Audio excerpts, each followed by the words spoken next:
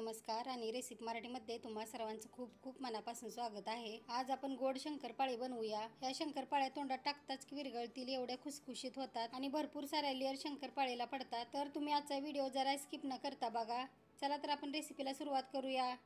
इथे मी एक स्टीलची पाटी घेतली या त्यामध्ये ह्या वाटीने तीन वाटी मैदा टाकूया. मैदा मी चाळून घेतलेला आहे. वजनी म्हणाल तर अर्धा किलो मैदा घेतलाय इथे मी एक वाटी तूप घेतलेला आहे. गरम करून थंड केलेला आहे. आता आपण तूप टाकूया. इथे मी अर्धी वाटी तूप टाकतीया. आता आपण मैदा व्यवस्थित हाताने मिक्स करूया. जोपर्यंत मैद्याची मूठ बांधली जात नाही तोपर्यंत मिक्स करत राहायचं. ह्या शंकरपाळ्या बनवण्यासाठी मोहनासाठी तूपच वापरायचं. म्हणजे ह्या शंकरपाळ्या अगदी खुसखुशीत होतात. ह्या पिठाची मूठ बांधली जाते. बरोबर मोहन पडलेलं आहे. एक वाटी तूप घेतलेलं. त्यातलं दोनच चमच तूप राहिलेलं आहे. इथे मी एक बावल घेतलाय. त्यामध्ये एक वाटी पिठी साखर टाकूया. ज्या वाटीने मैदा घेतलेला त्याच वाटीने एक वाटी पिठी साखर घेतलेली आहे. तुम्ही तुमच्या आवडीनुसार साखरेचं प्रमाण कमी या जास्त करू शकता. आणि त्याच वाटीने अर्धी वाटी पाणी टाकूया. आता हे चमच्याने मिक्स करून घ्यायचं. अशा पद्धतीने शंकरपाळ्या बनवाल तर महिनाभर टिकतात. साखर पूर्णपणे विरघळलेली आहे. आता आपण ह्या पिठामध्ये साखरेचं पाणी टाकूया. इथे मी साखरेचं पाणी अर्धच टाकलेलं आहे. आता आपण हे शंकरपाळ्याची कणिक मळूया. खूप जास्त घट्टही नाही मळायची. उरलेलं साखरेचं पाणी आहे ते पण टाकून मळून घ्यायचं आहे इथे शंकरपाळ्याची कणिक मळून झालेली आहे.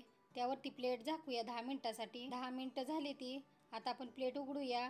आणि कणिक मळून घेऊया. तुम्ही बघू शकता शंकरपाळ्याची कणिक जास्त घट्टही नाही मळलेली. आता ह्या कणकीचे तीन उंडे करून ठेवायचे. त्यातला एक उंडा घेतलेला आहे. आता आपण लाटूया. शंकरपाळीचा उंडा थोडा मोठाच घ्यायचा. आपल्याला शंकरपाळीची चपाती आहे ती थोडी जाडच लाटून घ्यायची. ह्याच्या कडा आहेत त्या थोड्या चिरडतात. आपण नंतर कट करणारच आहोत साईडच्या कडा. इथं आपली शंकरपाळीची चपाती लाटून झालेली आहे. तुम्ही बघू शकता जाड अशी लाटून घेतलेली आहे. इथे मी साईडच्या कडा कट करून घेतले त्या. तुम्ही कोणत्याही शेपमध्ये कट करून घेऊ शकता. इथं आपल्या सगळ्या शंकरपाळ्या कट करून झाले त्या. उरलेल्या कणकीच्या पण अशाच पद्धतीने शंकरपाळ्या लाटून घ्यायच्या. शंकरपाळी तळण्यासाठी इथे मी तेल गरम करायला ठेवलेलं आहे. यामध्ये थोडीशी लोई टाकूया. तेल खूप जास्त गरम नाही. आता आपण तेलामध्ये शंकरपाळ्या टाकूया. इथे मी गॅस कमीच ठेवलेला आहे. शंकरपाळी तळताना गॅस कमीच ठेवायचा. शंकरपाळ्या तेलामध्ये टाकून झाले त्या. एक मिनिट झाल्यावरती चमच्याने फिरवून घ्यायचं. म्हणजे शंकरपाळीला लेअर्स भरपूर पडतात. तर तुम्ही देखील ही ट्रिक नक्की वापरा. तांबूस रंग येईपर्यंत शंकरपाळ्या तळून घ्यायच्या.